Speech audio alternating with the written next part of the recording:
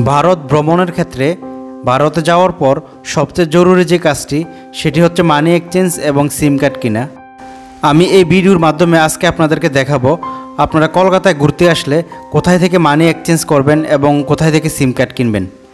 আমি এখন যাচ্ছি পেট্রোপল চেকপোস্টের উত্তম ঘোষের দোকানে, যেখানে আপনারা মানি এক্সচেঞ্জ করতে পারবেন, সাথে সিম কার্ড কিনতে পারবেন, এমনকি আপনারা এখান থেকে বাসের টিকিটও কিনতে পারবেন।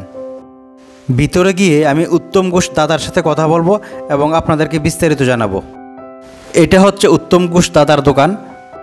এখানে আপনারা ন্যায্য মূল্যে সকল ধরনের সিম কার্ড পাবেন, মানি এক্সচেঞ্জ করতে পারবেন, এমনকি আপনারা কলকাতা থেকে বাংলাদেশে আসার বাসের সকল টিকিট পেয়ে যাবেন। আমরা কলকাতা সেখানে আসার পর আমরা এই দোকান থেকে টাকা ভাঙাতে আসছি। তো আমরা এই দাদার দোকানে আসছি। তো দাদা, আপনার নামটি বলুন। আমার নাম উত্তম ঘোষ। এটা হয়েছে পেট্রাপোল চেকপোস্ট আর উপরে হয়েছে বেনাপোল তো ওখান থেকে লোক পাসপোর্ট এমিগ্রেশন করে ইন্ডিয়ায় আমাদের পাঠে আসে। আবার কাস্টম এমিগ্রেশন করে এখান থেকে ঢাকা কলকাতা বাস যায়। বাস আছে অটো আছে ভ্যান আছে রিক্সা আছে টোটো আছে এতে আপনাকে যেতে পারবেন বনগা বনগা স্টেশন। আপনি যদি কলকাতায় যাওয়া মনে করেন তাহলে এখান থেকে আমাদের বাসে যেতে পারেন তিনশো পঞ্চাশ রুপি করে। আর ঢাকার থেকে যদি আপনি আসেন তো পনেরোশো রুপি। আর চিটাগাং থেকে যদি আসেন আপনাকে বাইশশো রুপি। মানে বাংলা পঁচিশশো। 2500 এটা আপনার একদম নিউ মার্কেট।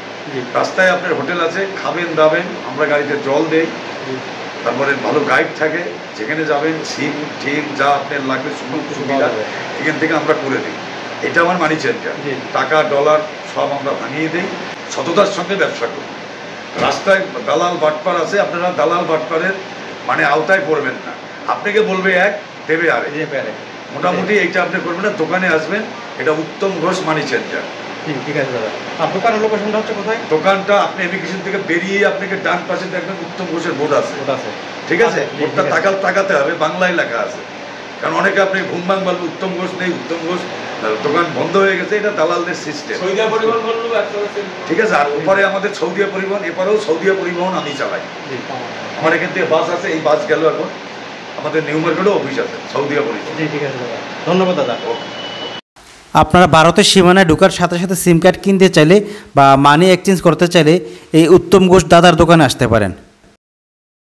এছাড়াও আপনারা কলকাতার মার্কিউস স্ট্রিটে আসলে আপনারা এখান থেকে অ্যাভেলেবেল মানি এক্সচেঞ্জ বা সিম কার্ড কেনার দোকান পেয়ে যাবেন। আমি দুই জায়গার রেট কম্পেয়ার করে দেখলাম দুই জায়গার রেট প্রায় একই। আজকের ভিডিও এ পর্যন্তই। আজকের এই ভিডিওটা আপনাদেরকে চেষ্টা করলাম কিছু তথ্য দেওয়ার জন্য। সবাই ভালো থাকবেন। আল্লাহ হাফেজ।